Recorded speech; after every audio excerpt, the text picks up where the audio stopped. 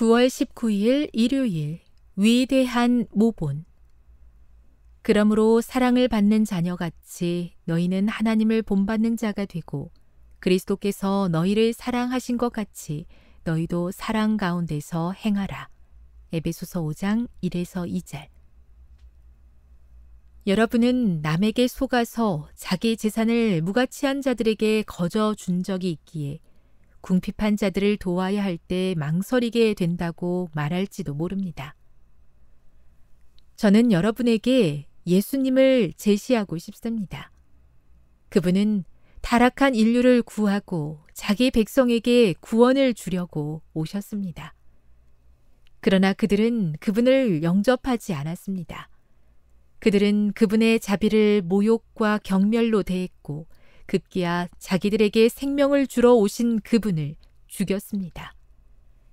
이 때문에 우리 주께서 인류를 외면하셨습니까? 아흔 아홉 번의 선행이 실패처럼 보이고 모욕과 책망과 미움만 받았다 할지라도 만약 백번째에 성공하여 한 영혼이라도 얻는다면 그 얼마나 큰 승리입니까?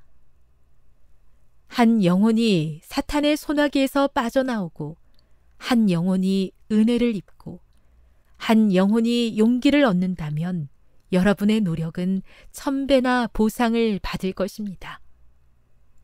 예수님은 여기 내 형제 중에 지극히 작은 자 하나에게 한 것이 곧 내게 한 것이니라 라고 말씀하실 것입니다. 우리는 주님의 생애를 본받고자 할 수 있는 모든 일을 기쁜 마음으로 해야 하지 않겠습니까?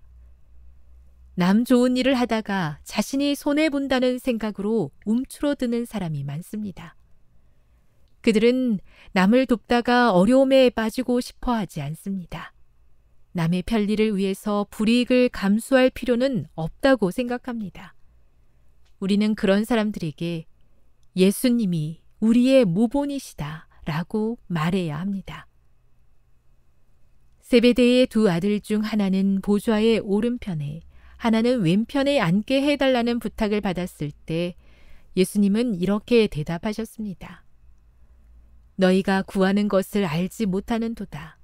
내가 마시려는 잔을 너희가 마실 수 있느냐?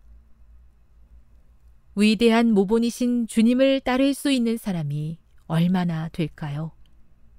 누구든지 그리스도를 따른다는 사람은 이 단계를 밟으면서 그분께서 행하신 대로 행하겠다고 서약한 것입니다.